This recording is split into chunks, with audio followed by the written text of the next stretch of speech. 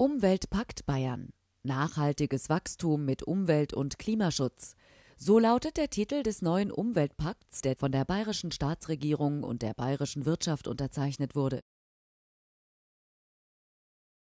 Der Umweltpakt ist ein zentrales Instrument der Umweltpolitik in Bayern. Gerade die Herausforderungen des Klimawandels bedeuten für uns ja, dass wir CO2 reduzieren müssen.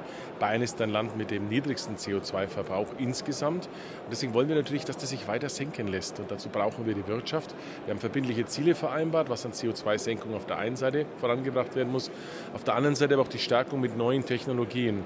Und diese Verbindung von Innovation auf der einen Seite, CO2-Sparen auf der anderen, das zusammen macht den Charme der Zukunft aus. Also Arbeitsplätze Und Klimaschutz gehen Hand in Hand. Der vierte Umweltpakt Bayern ist bis ins Jahr 2015 fortgeschrieben. Er ist die Grundlage für kooperativen Umweltschutz in Bayern.